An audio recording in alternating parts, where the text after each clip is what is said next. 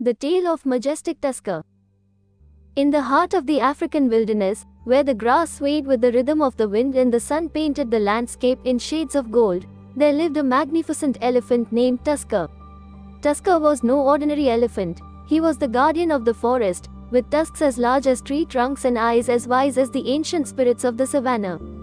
From a young age, Tusker roamed the vast expanse of the jungle, learning the secrets of the land and the ways of his ancestors.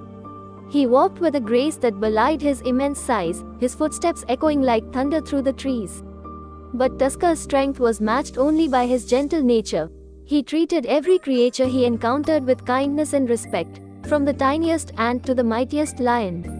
One day, as Tusker was making his way through the jungle, he heard a faint cry for help echoing in the distance. Without hesitation, he followed the sound until he stumbled upon a group of trapped animals, ensnared by a cunning hunter's trap. With a mighty heave of his powerful trunk, Tusker shattered the chains that bound the animals, setting them free from their captivity. The grateful creatures looked up at him with awe and reverence, knowing that they owed their lives to his bravery. Word of Tusker's heroic deeds spread far and wide, and soon, animals from all corners of the jungle came to seek his counsel and protection. They knew that as long as Tusker walked the earth, they were safe from harm.